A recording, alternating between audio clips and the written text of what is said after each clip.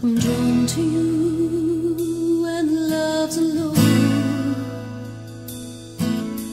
It feels so safe, sacred, and pure. But it's